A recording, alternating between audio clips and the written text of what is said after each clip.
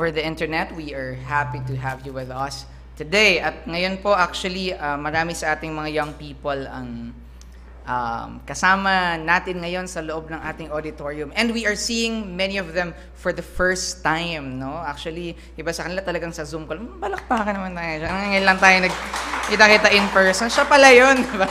Okay, yung mga kasama natin ng since January, no? May mga ilan tayo na unti-unti nakasama over Zoom. And we are seeing many of them for the first time. We'll have more time for fellowship later on.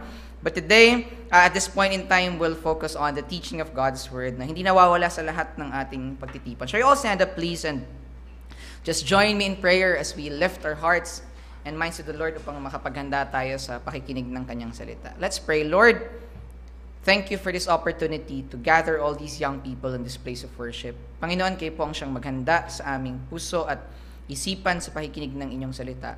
Adalain ko, Panginoon, na ang kalooban mo ang siyang masunod sa pagpapahayag na ito. Kayo po ang siyang kumausap sa bawat isa, Panginoon, at nawa ang pangalan mo lamang po ang maitaas sa lahat ng aming gagawin ngayon. Ito pong lahat ang dalangin sa pangalan ni Jesus.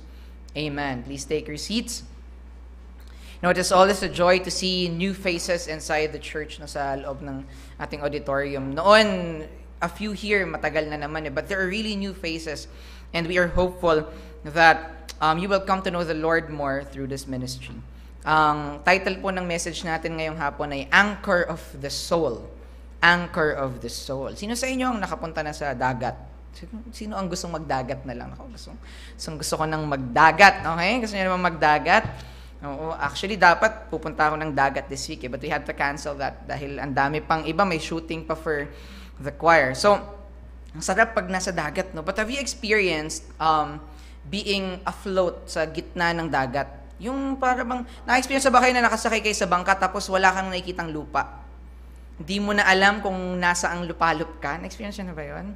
And you are not sure, gumagalaw ba kami o nasa isang lugar lang kami? Na, na-experience na ba yan? Minsan nga kahit yung mga structure lang na nasa dagat. Halimbawa, um, yung, meron kasi sa amin, parang ang tawag ay, kalimutan ko yung local term, but it's like a fish cage. Nasa gitna ng dagat. Pag nakatayo ka doon, hindi mo alam kung gumagalaw ba yung fish cage o gumagalaw ka ba o naka-steady lang. So, nakakahilo pag nasa dagat, no? And so, there's a need to be anchored. Yung mga maingisda, pag nasa gitna sila ng dagat, ang kung hindi nyo alam yung gawin ng mga maingisda, from the shore, magta-travel yan, depende kung ano yung hulihin, isda ba, pusit ba. Magta-travel yan for uh, quite a few miles, siguro ilang oras sila magta-travel. Tapos pag nakahanap sila ng fishing spot, na dito sila mamamangka, ina-anchor nila yung kanilang bangka. So kahit pala bangka may anchor, no? So lalo na yung mga barkong malalaki, may anchor. Alam niyo naman yung anchor, 'di ba? Nakita na ba kayo noon? Ano bang Tagalog ng anchor? Angkla, napaka.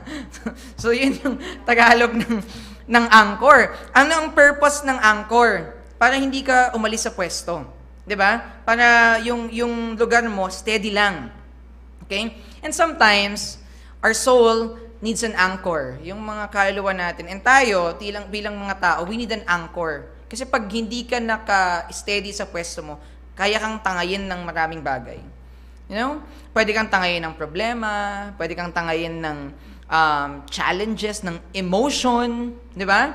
Ng mga maling tao, nasasaktan ka lang, di ba? Yung mga ganyang bagay. Okay, so, uh, just a bit of recap. Two weeks ago, we talked about the faithfulness of God. Di ko alam kung napakinggan yung lahat kasi alam ko nag-fellowship tayo after PM service pero kailangan ulitin yung message ng fellowship kasi baka siesta, siesta time nyo yung PM service na 3 PM.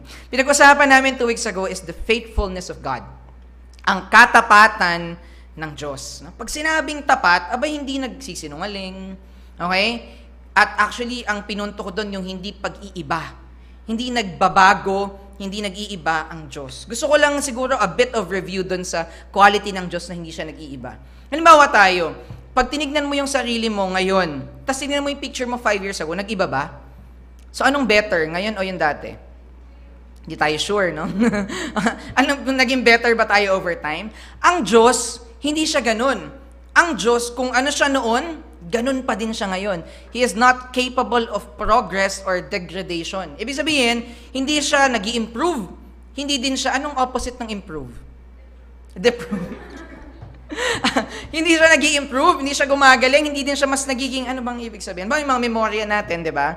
Dati, matatalas memorya pag bata, ano? pero biro ng mga nanay, pag na-anesthesiahan na, nag-fail na yung memorya. Ang Diyos, pare-pareho lang. Pare-pareho lang. Hindi siya nagpa-progress kasi nga, Diyos siya. Okay? Diyos siya. At mamaya, i-connect ko yan, ba't mahalaga na ang Diyos? Faithful sa kung sino siya. Di ba may mga kaibigan tayo, parang nagbago ka na? Ang Diyos hindi ganun. Sabi ng Bible, Jesus Christ is the same yesterday, today, and forever. So He doesn't change. He's incapable of progress or degradation. Even in His purposes, He doesn't change. Sa kanyang mga kagustuhan, hindi siya nagbabago.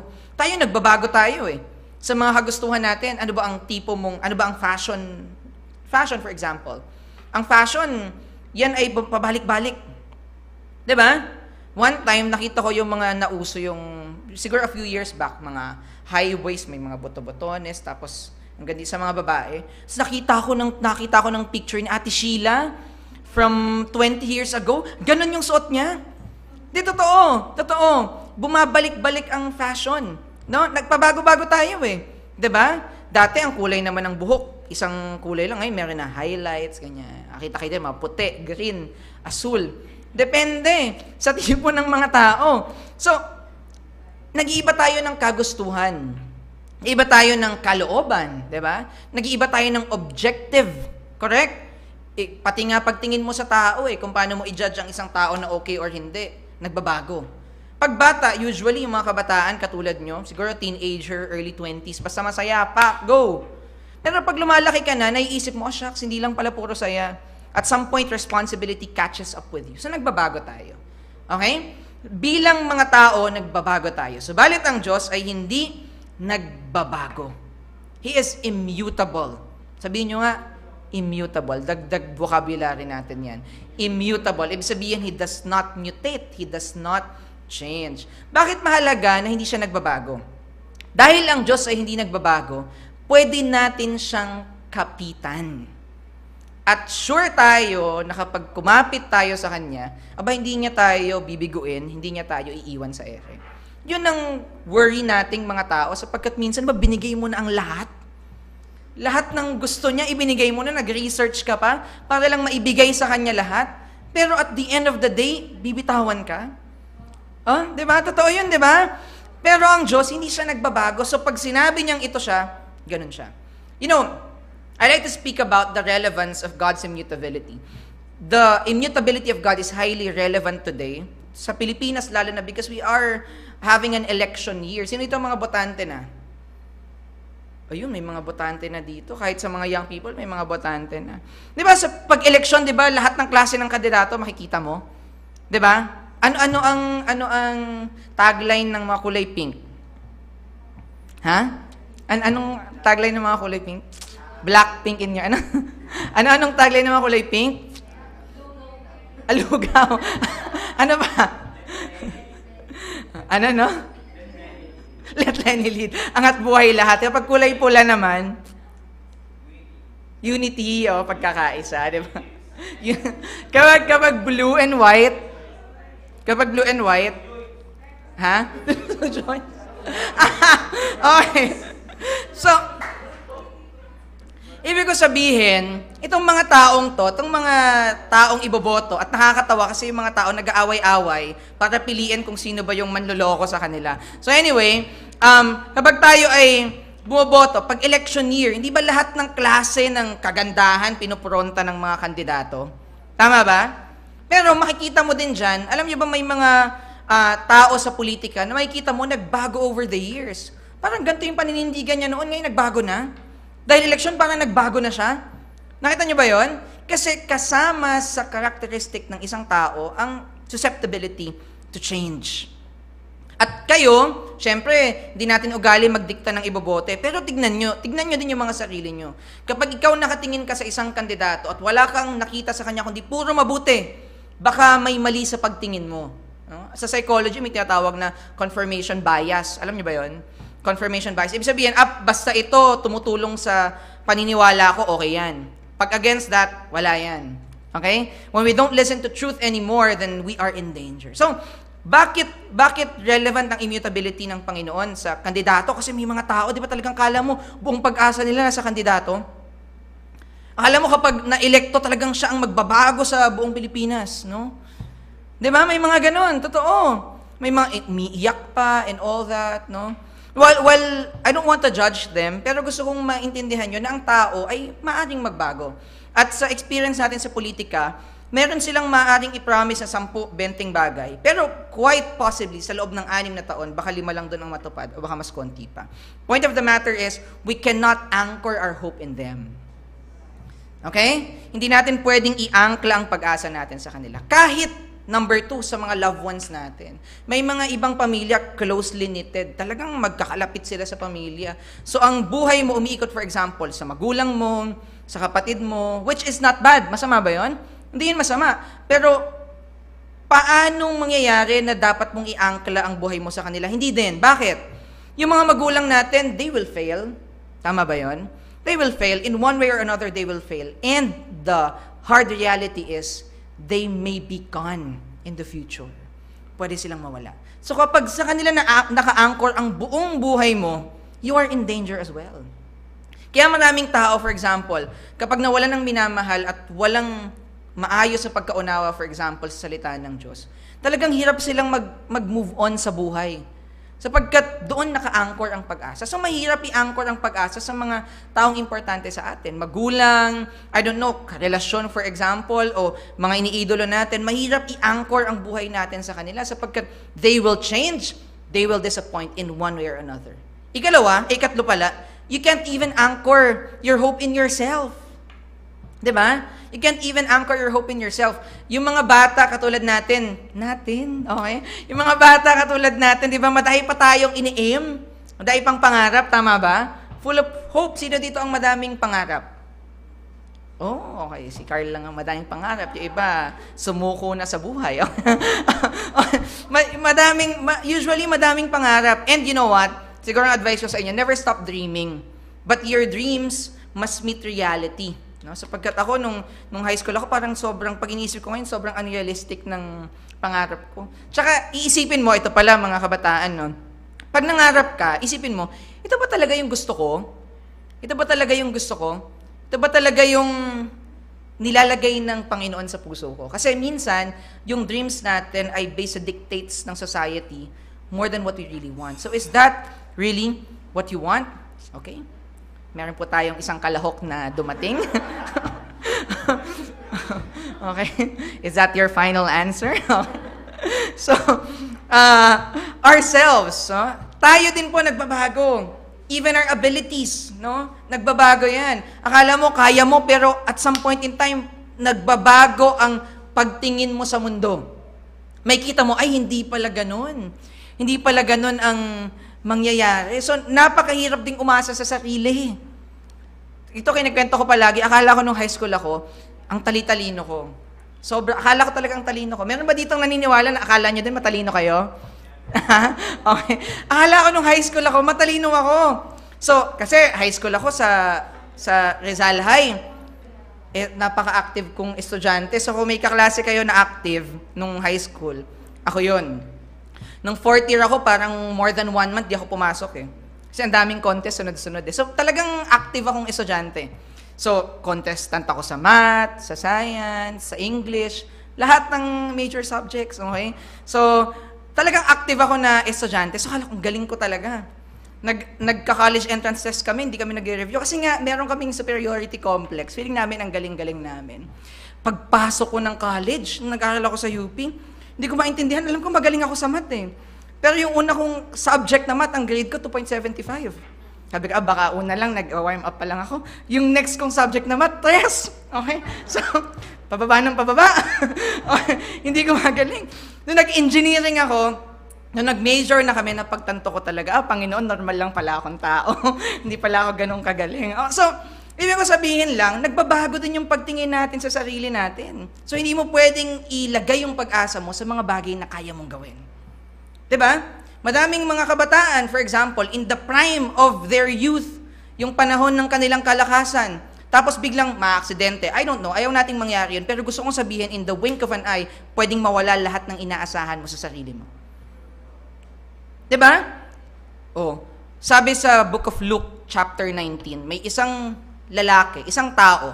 Sabi niya, itong ta- taong ito ay naging successful sa kanyang farm. Isang araw, nagkaroon siya ng madaming harvest. Sabi niya, Soul, soul, ang galing-galing mo, ang dami mong naging harvest, meron ka ng enough in store for the rest of your life. Wala ka nang gagawin, magpakasaya ka lang.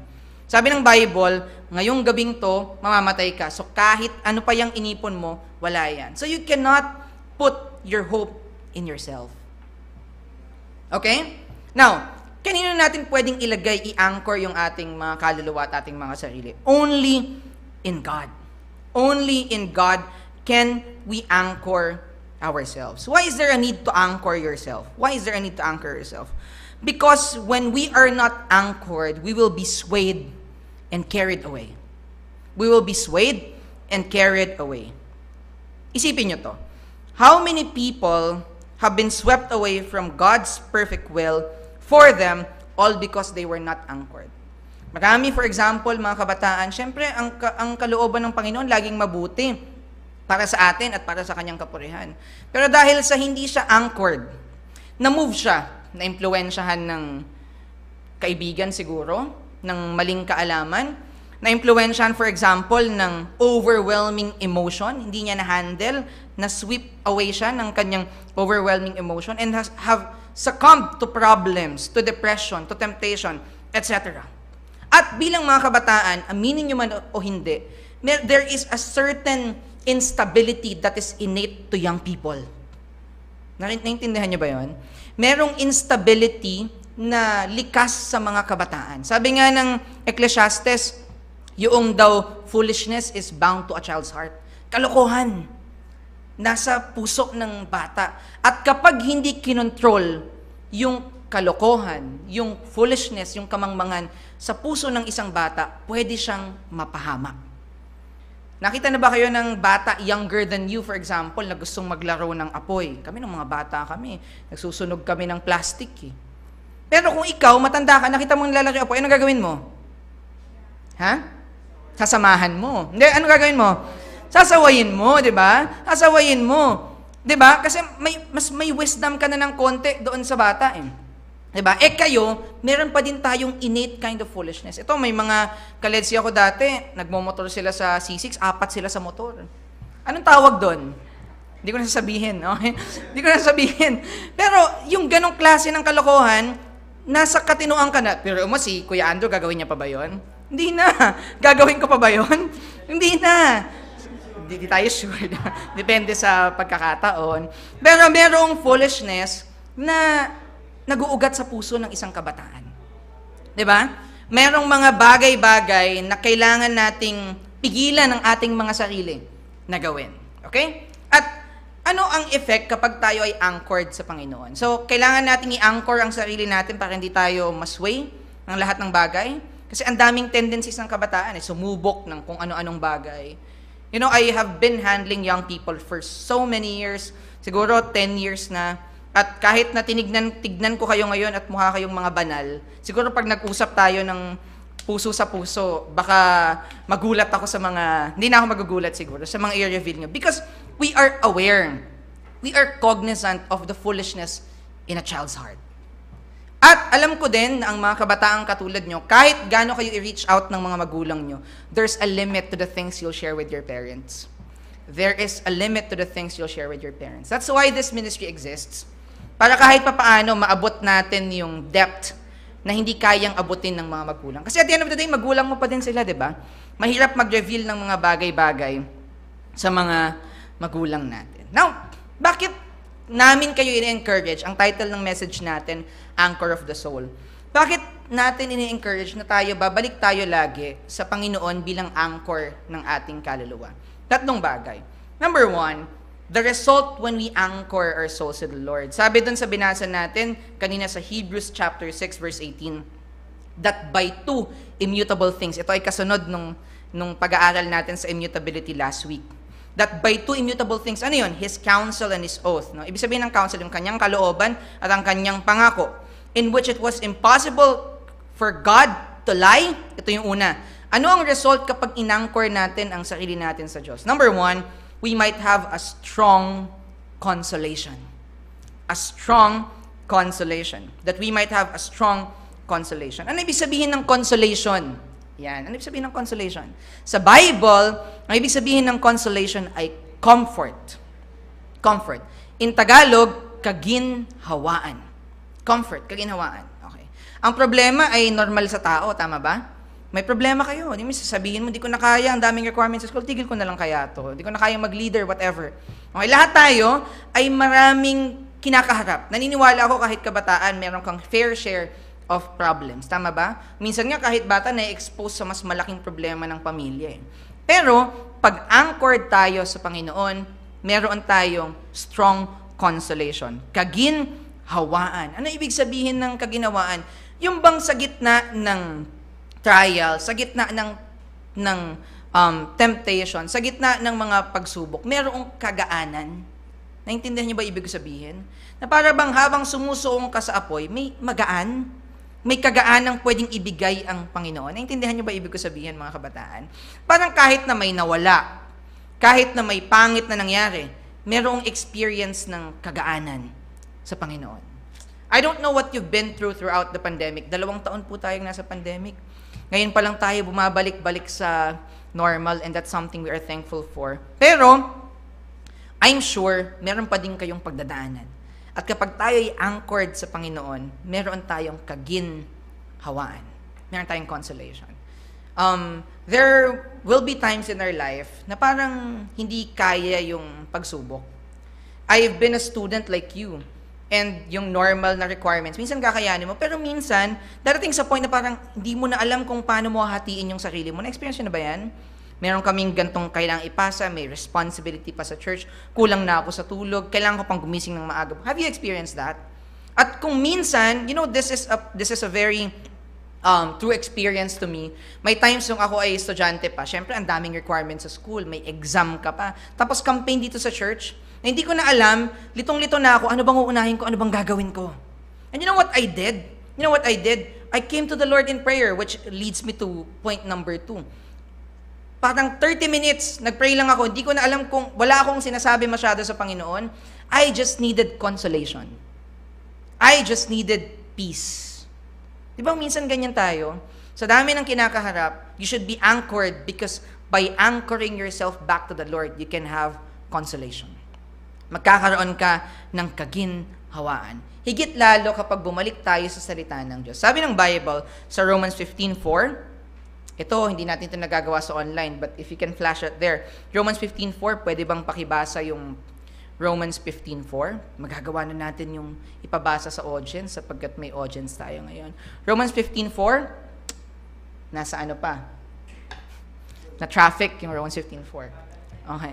Mabagal net. Papa-upgrade tayo. Okay, so, dumating na ba? Ayun. Okay, so next week babasahin natin yung Romans 15.4. Pero ngayon, ako na muna siguro. Sabi dito sa Romans 15.4, For whatsoever, like, baka kayang ihabol. Ayun, ayun.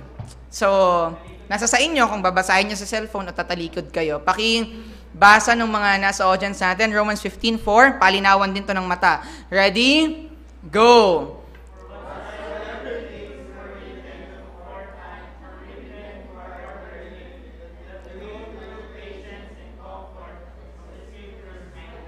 Yun. That we, through patience and comfort of the scriptures, might have hope. You know, I don't know how much you've read your Bible, pero tinetestify ng Bible na siya ay pwedeng magbigay ng comfort. Comfort of the scriptures. Um, I don't know, baka later pwede nyo i-share sa grupo nyo. Meron ka bang Bible verse na binabalikan mo lagi pag kailangan mo ng comfort? Okay? You know, there was a time when I was going through a lot of things in life. Siguro this is a bit of testimony din. I was going through a lot of things in life. Parang, ewan ko kung naka-experience kayo ng anxiety. Nung araw kasi parang hindi mo madalas marinig yung salitang anxiety and depression. But I went through the same thing in my life. And one of the things that comforted me is from 2 Peter chapter 3. Hanapin natin yung verse na yan. Sabi dito sa 2 Peter chapter 3. Ayun no? Humabol. Pero 2 Peter na ako. Teka lang.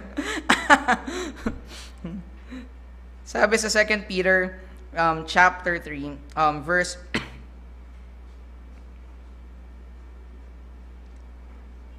um,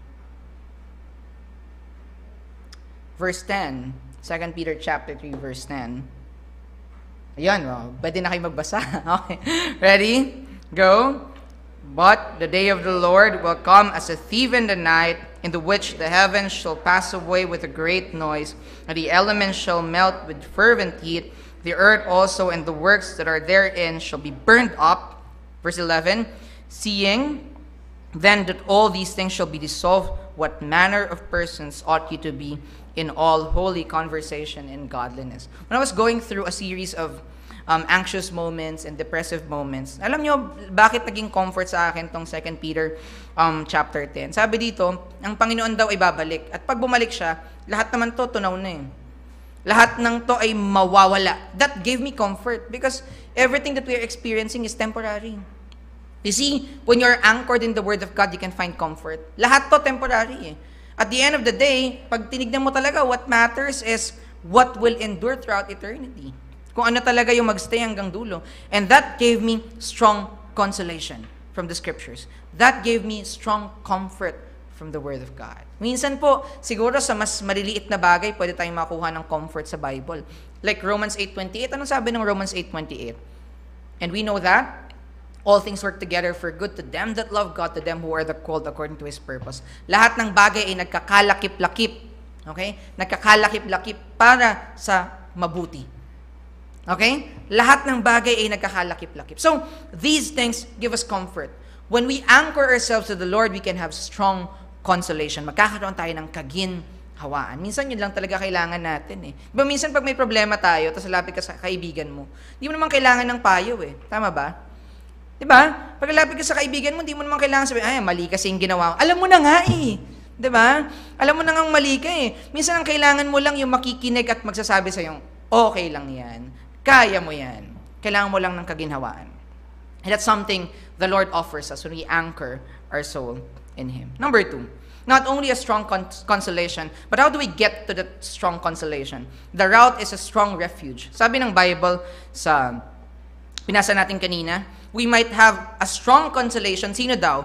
Who have fled for refuge to lay hold upon the hope that is set before us. Who have fled for refuge. Sino daw magkakaroon ng kaginhawaan? Aba yung mag-flee. Ano ba yung flee? Ano ba yung flee? Yung pagsabi, uh, pag, uh, siguro ang synonym ng flee ay run. Okay?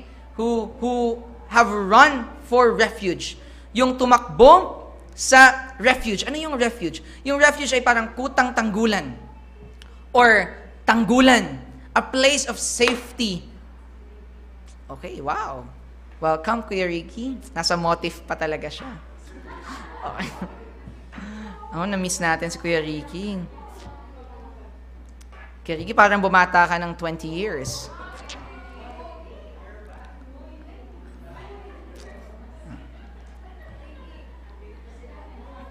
Kuya Ricky. Hindi po nakakilala si Kuya Ricky po yung may-ari ng isang haligi dito sa building na to. Okay, so, excited po kaming makita siya, no? Okay, so, strong refuge. Paano tayo magkakaroon ng comfort? We should flee. Other word for flee, run. We should run for refuge. Ano ibig sabihin ng run for refuge?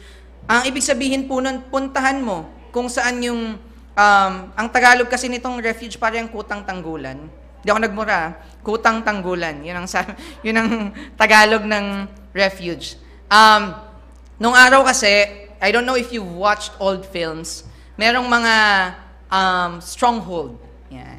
Sabihin, kapag may war, di ba yung mga citizens pumapasok doon sa walled city ng kingdom? Ano, napanood niyo ba yan? Di ba, pag, pag may war, pumapasok sila sa loob ng, ng center ng city kung saan merong walls. So, kapag may danger, tumatakbo sila papunta doon sa refuge. So sabi ng Bible, sino daw yung may kaginhawaan? Yung nakapasok doon sa refuge. Gets niyo ba? Halimbawa, sa mga lugar, halimbawa, di ba, pag may bagyo, may binaha, meron evacuation center. Parang ganun, kasi mas safe yung lugar na yun eh. Now, sabi ng Bible, when you are anchored to the Lord, alam mong siya ang iyong pag-asa, sa kanya ka pwedeng tumakbo, when the time of trial comes, you flee for refuge. Tumatakbo ka papunta sa kanya. Alam niyo si Pastor Benny, ang kanyang favorite verse ay 1 Peter chapter 5 verse 7. Sabi doon, casting all your care upon him for he careth for you. Sa panahon na meron tayong mga concerns, you cast all your care to the Lord. Bigay mo lahat ng alalahanin mo sa Panginoon dahil siya ay merong concern. He careth for you. Alam niyo ba, anong isang effect ng pandemic? Sabi ng Pew Research, which is a reputable research agency in the US. Ganyan po tayo ha, pag kukuha tayo ng information doon tayo sa reputable sources. Okay? Huwag tayo doon sa mga kaibigan natin na hindi marunong tumingin ng tama at mali. Okay? So, sabi sa Pew Research Center, large majorities of Americans generally and US Christians specifically who pray daily have turned to prayer during the outbreak. Ano ibig sabihin? Aba, yung mga tao daw na nagka-COVID, mas nag-pray. Okay? Sino dito ang mas natuto mag-pray? Alam niyo, isang effect talaga ng COVID, na-renew ang pananampalataya ng marami. Takot sila eh. Kasi akala mo talaga in control ka sa buhay, biglang stop. All of a sudden, bawal lumabas ng bahay. Di ba? All of a sudden, parang nawalan ng trabaho yung marami. At kapag nasusukol tayo, we turn to prayer. parang nagiging last resort ang prayer, no? But in our daily lives as Christians, we can also come to the Lord in prayer. Sabi nga, flee for refuge. Yung tumatakbo para sa kaligtasan sa loob ng tower ng Panginoon where you know that you are safe. You have to be anchored. Hindi ko alam, meron ba kayong problema ngayon? Pwede kayong tumakbo sa Panginoon. Sabi ng Bible sa Philippians chapter 4 verse 6, Be careful for nothing, but in everything, by prayer and supplication with thanksgiving, let your requests be made known unto God. In everything. Kuya Bill, talaga ba, ang Panginoon ba, meron ba yung tulong kasi meron akong project? Pwede ko bang ipag-pray yun? Of course. Sabi ng Bible, in everything. Di ba? Narasan ko, maging estudyante na malilate na ako, pinag-pray ko, Lord, may kailangan akong gawin, kailangan kong tapusin to. Sana hindi ako malate. Nalate ako. Pero, mas late yung teacher. Di ba? so, hindi, sinagot pa din sa ibang paraan, di ba? So, ibig ko sabihin, ang Panginoon ba interested ba siya sa detalye ng buhay natin? Yes. Hindi lang siya interesado kung pumunta ka ngayon. Interesado siya sa gagawin mo bukas, sa isang araw. He's interested in the details of your life. And that's so amazing when you think about it. That the creator of heaven and the earth is interested in your life. And he tells you right now, if you, you have something that is concerning, flee for refuge. Flee for refuge. Takbo ka lang sa Panginoon. And there is safety. There is comfort. Merong kaginhawaan sa loob ng kanyang kutang tanggulan.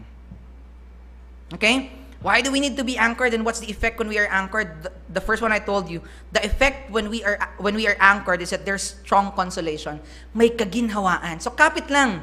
Kasi may kaginhawaan sa piling ng Panginoon, 'di ba? Ano ang paano tayo magkakaroon ng kaginhawaan? You flee for refuge. Go to the tower of God.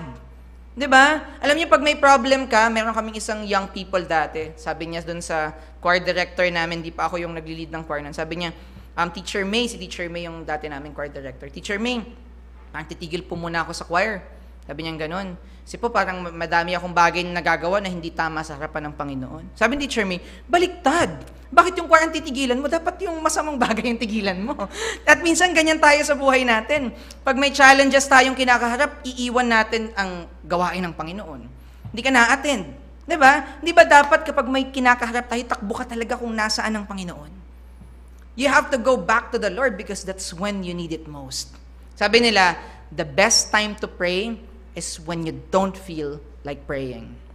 Yung pinakatamang time mag-pray ay pag feeling mo, parang wala naman ako sa mood mag-pray. Aba, mas dapat tayong mag-pray.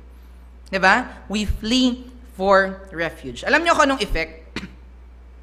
Kapag pinanalangin natin ang mga bagay-bagay, sabi dito sa sumunod na verse, Philippians 4.7, And the peace of God, which passeth all understanding. Put me water. and the peace of God, which passeth all understanding, shall keep your hearts and minds through Christ Jesus. So kapag tayo pala ay lumapit sa Panginoon, magkakaroon tayo ng kapayapaan, peace. I don't know, maybe a lot of you have experienced not being able to sleep at night because just because thoughts just come rushing in your mind. Meron ba kayong mga ganyang pagkakataon? And you realize, napakamahal palang commodity ng kapayapaan. You know, I think kapag ikaw nagkaroon ka na ng ganyang experience, medyo nawawala ka na sa pagiging bata. Kasi nag-iisip ka na eh. No? At kapag tumatanda ka, mas bumibigat yung mga bagay-bagay na iniisip mo. Di ba? Minsan may makakilala ko talagang hindi nakakatulog sa kaiisip. And then you realize you need the peace of God. You know, when a time like that comes, flee, run towards God for refuge because you cannot take it on your own. You cannot survive it on your own. And when you pray to the Lord, the Bible says, the peace of God which passeth all understanding. Gusto kong bigyan ng emphasis yung term na passeth all understanding. Sapagkat madaming tao dito ngayon sa Pilipinas, parang walang understanding. No? Pero ang, ang, ang kapayapaan ng Diyos na tinutukoy dito, yung bang kahit na hindi mo maipaliwanag, but you are just at peace because you are anchored in the Lord. Halimbawa, pinagpe-pray mo yung sakit mo. May sakit ka naman. Hindi naman nawala yung sakit mo biglaan pagkatapos mong uh, ipag-pray. Pero may kapayapaan ka na kahit anong mangyari, alam mong hawak ka ng Panginoon. That's the peace of God that passeth all understanding. Hindi maintindihan ng iba yun kasi hindi ka naman gumaling, ba't ka may kapayapaan? Naintindihan niyo ba yun? But that's the effect when we lift our burdens to the Lord, when we flee for refuge in the tower of God. We have that peace that passeth all understanding. Ano pa? Shall keep your hearts and minds through Christ Jesus. Shall keep your hearts and minds through Christ Jesus. Ano ibig sabihin ng shall keep your hearts and minds? Iba po, may mga tao na parang dumaan na sila sa iba't ibang problema, pero intact pa din yung puso at isip. That's what we need. Hindi dapat masira ang puso at isip natin. And that's possible when we flee for refuge. Because we'll have consolation. Saan tayo nakaasa? Bakit ganto na lang yung pagsandal natin sa refuge ng Panginoon? Ganun na lang ang ang comfort na nabibigay sa atin pag lumalapit tayo sa Panginoon. Meron tayong reassurance. Ano yun? Our strong hope. That's the third point. Number one, sabi ko, the result is a strong consolation. The route, the route or the route is a strong refuge. You flee to the strong refuge. And finally, the reassurance is the strong hope that we have in Jesus Christ. Yung bang may pag-asa ka? May pag-asa tayo sa Panginoong Jesus. At ang pag-asa natin, gusto ko lang i-clarify, ay wala dito sa mundong to, kundi beyond this world. Beyond this world. Alam nyo ba, di ba, sino na dito ng mga debate? Alam ko, mas politically aware ang mga kabataan ngayon. Eh. May isang professor, si Clarita Carlos, di ba sikat na sikat siya? And she was commenting because her expertise is a foreign relation. She was commenting on the Ukraine and Russia war. Alam ko, nakikita nyo yan, di ba? sa mga news feed nyo. Anong comment niya? Itong mga superpowers na to, akala nila ang kalaban natin isa't isa. Pero ano ba talagang kalaban natin? Global warming, climate change. Anong ibig sabihin? Naintindihan niyo ba yung term na climate change? Pinag-aaralan niyan sa school eh. Grade 5 pa lang ako, nag-attend na kami ng conferences on climate change. And the prediction, if I'm not mistaken, when I was in uh, grade school, is that by 2050, 2050, uh, ilang taon na lang yun, aabutan nyo yun. ba? Diba? Iba dito parang di na, pero okay. Hindi natin alam. Hindi natin sure. Hindi natin sure, di ba? Baka mamaya, ilang taon na ako nun. Hindi natin sure, depende sa biyaya ng Panginoon. Pero, sipin mo na lang, pag inabutan mo yon ang water level, tataas by a few meters. Sabihin, yung ibang areas, lulubog na. Oh, biruin mo, may binili kang lupa sa Kamanava area, by 2050, I'm sure some areas lulubog na. 'Di ba? O sa study ng food security, yung pagkain, pagkain, ang food security daw ng mundo, recently ko lang narinig nung isa sa mga El Cafe episodes namin, hanggang 2030 na lang. Okay? 2030 lang taon na lang 'yon unless may gawin na interventions. Siguro ang punto ko lang para sa inyong lahat, ang mundong ito ay hindi made to last forever. So your reassurance should not be anchored in this world. ba? Halimbawa, isipin mo, itong ang mundo, tingin mo, palakas ang palakas ang mga bagyo. Painit ng painit ang temperature ng mundo. This world is not made to last forever. So, where is our hope? Kasi sabi dun sa verse na binasa sa atin, binasa natin kanina, meron tayong hope. Yung hope ngayon, yun ang ating um, anchor of the soul. Saan nakabase yun? Sabi sa Titus 1.2, In hope of eternal life, which God that cannot lie promised before the world began. In hope of eternal life, which God that cannot lie promised before the world began. Kung yung hope natin eh dito lang, 'di ba? Kung yung hope natin ay dito lang, aba ma- mababang klase 'yan ng pag-asa. Kasi dito lang sa mundong 'to eh. The hope that the the the word of God offers is a hope that goes beyond this lifetime. Kaya ka kakapit, kaya ka hindi susuko because you are anchored in the hope that lasts beyond this lifetime. And I think that's more important. 'Di ba? Sapagkat napakaikli ng buhay ng tao. If this is the be all and end all of everything, edi gawin mo na lahat ng gusto mong gawin. But we believe in a life beyond this. And young people, I'm calling you to bank on the hope of eternal life beyond this. Di ko alam kung na-encounter nyo na sa sarili nyo yung ganyang question. Sapagkat uh, kahit bata at some point in time, magtatanong kayo, ano kayang meron pagkatapos ng buhay na to? Di ba? Pag namatay, ano kayang meron pagkatapos ng buhay na to? ba? Kasi ang kamatayan, tama ba ang kamatayan walang pinipiling edad? Walang pinipiling edad. ba? At walang pinipiling pagkakataon. Kung minsan napanood ko sa balita, may bagong kasal, no? I think they were both OFWs who had their um, honeymoon in Maldives. Ano nangyari sa kanila? Nakuryente, patay. Just after a very um, happy part of your life. You die. Di ba? Nasa honeymoon ka pa sa Maldives. Nakarating ka nga ng Maldives, patay ka naman. Ba? And I also read the news about a certain scholar, a Filipino scholar, who studied abroad. Pagdating niya doon, na hit and run, patay. So walang pinipiling pagkakataon Walang pinipiling edad ang kamatayan. Parang manghihinayan kasi parang ang dai pang potential nito, ang dai pang pwedeng gawin, pero namatay.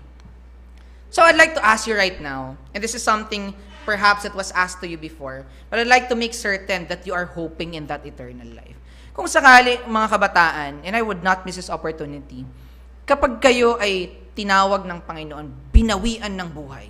May iba sa inyo, lumaki sa church to, may iba are coming here for the first time, but one thing I am sure, mamamatay ka din someday. That's a certainty of life. Tama ba? Sabi mo nga sa katabi mo, mamamatay ka din. Okay? Mamamatay ka din. Totoo naman yun, di ba? Totoo ba yun? Totoo ba yun? Sino dito ang, alam nyo ba, sila Christopher Columbus nung araw pa naghahanap ng Fountain of Youth?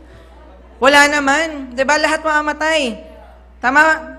Oo, naghahanap sila ng Fountain of Youth kung saan-saan. Hindi naman nila nahanap kasi nga mamatay. Kahit anong laklak mo ng food supplement, pag natapilo ka dyan, nauntog ka patay. ba? Diba? So, hindi lang natin alam kung papaano, kung kailan, pero ang reality, mamatay tayo. Tama ba? At kahit bata, you must be aware of that reality. Now, if you die, if you die, and you face the Lord in judgment, the most important question is that when He judges you, will you be guilty of sin, of any kind of sin? The correct answer is that you will be guilty. You will be guilty. Di na tayo magbibilang dito ng kasalanan. Kasi I'm sure, kanina lang nagkasala ka, baka kahapon lang may kasalanan ka. Tama ba? Sapagkat sa Bible, ang captured ng kasalanan ay hindi lamang yung ginawa, kundi pati inisip. Okay? Alam niyo yung Ten Commandments, di ba? Alam niyo, di ba? Hindi ko na isa-isahin. Siguro yung commandment number 10 na lang. Ano yung commandment number 10? Thou shalt not? ano yung commandment number 10? Alam niyo yan. Ano yung commandment number 10? Thou shalt not? Letter C. ano yung commandment number 10? Thou shalt not? Co? Covet. Okay? So, thou shalt not covet. Covet. Hindi covet, no? Covet. Ano yung thou shalt not covet? Ano yung covet? Mag-desire Thou shalt not covet thy neighbor's goods. Thou shalt not covet thy neighbor's wife, thy neighbor's handmaid.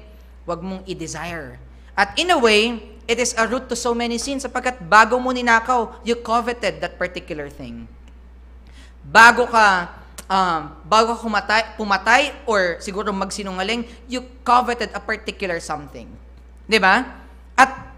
Knowing that, I am sure lahat tayo at some point in time we were guilty of covetousness, of coveting something. 'Di ba? And that alone can make us guilty sa harapan ng Panginoon. So when we face Him today in judgment, no matter, biruin mo, no, ang Panginoon, yung awards ko pala nung high school, walang bearing. Di ba? Yung mga pormahan natin ngayon, walang bearing. Yung ganda ng boses mo, walang bearing. Ano lang ay may, ang may bearing sa Kanya? Kung kilala mo ang Panginoong Jesus. There are two things that the Bible tells us. Siguro, this is how I'll end this. Ano yung strong hope natin in hope of eternal life? Through who? Sino ang nagbibigay ng buhay na walang hanggan? Si Jesus lamang. Okay? Huwag tayong malito. Ang buhay na walang hanggan na ino-offer nino. Lahat tayo ay makasalan, lahat tayo ay guilty. Kanino nang gagaling ang buhay na walang hanggan? Kay Jesus lamang. Siya lamang po. This church cannot save you. Kahit pumunta ka dito linggo-linggo, pag di mo nakilala ang Panginoong Jesus, hindi ka maliligtas. Kahit makilala mo pa si Joshua, hindi ka maliligtas. Okay? Kailangan mo makilala sino? Ang Panginoong Jesus. Anong kailangan mong gawin? Number one, you have to admit that you are a sinner. Pag ngayon, hindi ka pa din makapag-desisyon kung makasalanan ka, may problema. You don't have an understanding of your real situation. Number one, you have to understand that you're a sinner. Number two, you have to repent of your sins. At ibig sabihin ng repentance, pagbabago ng isip. Pagbabago ng gawi sa kasalanan. It is a turning away from sin. And finally, ano ang huli mong dapat gawin? Magtiwala kay Jesus lamang. Ano ang laman ng panalangin mo kapag tinatanggap mo ang Panginoong Jesus? That you are a sinner at wala kang pag-asa kung wala siya. Di mo pwedeng sabihin, Lord, talaga papunta akong impyerno, guilty ako, eh, mas mabait naman ako dun sa kapitbahay namin.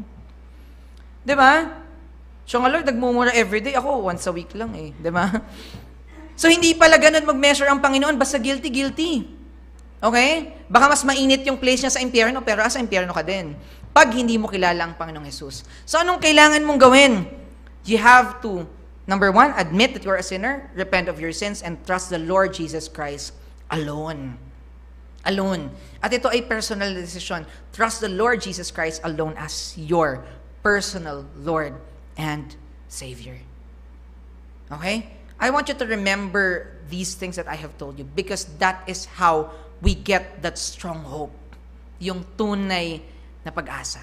Kaya nga, isipin mo, bakit yung mga mananampalataya may pag-asa na kahit sinong manalong pangulo, kahit anong mangyari in the future, because our hope is that eternal life that goes beyond this lifetime. I hope meron din kayong ganoong pag-asa.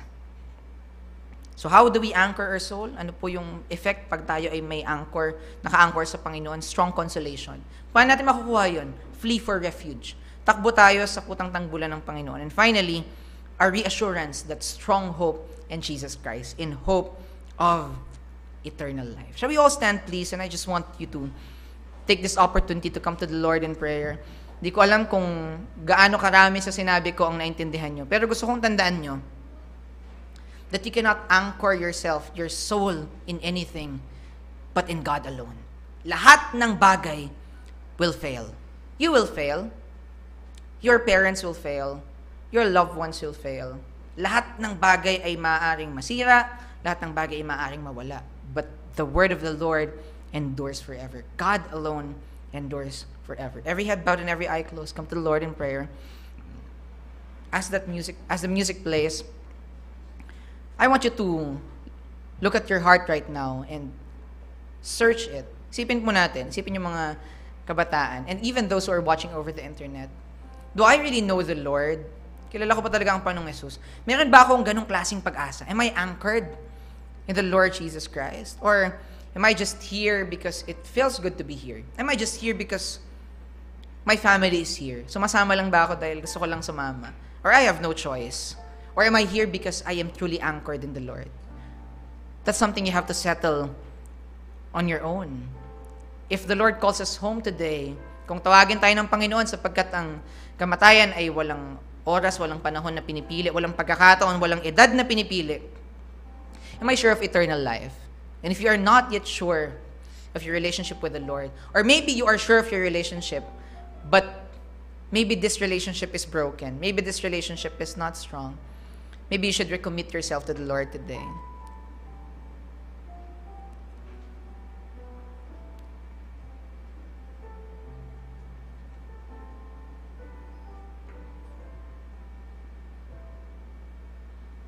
Let's pray. Panginoon, salamat po sa pagkakataong binigay niyo upang makausap ang mga young people na ito, Panginoon. Lord, sometimes as young people, na ilalagay namin ang pag-asa namin sa iba't ibang bagay. But thank you for reminding us that you alone is our steadfast hope. Salamat, Panginoon, sapagkat sa pamamagitan mo, meron po kaming consolation. So all we need to do is run to you because you are our strong hope. Ikaw po ang aming pag-asa.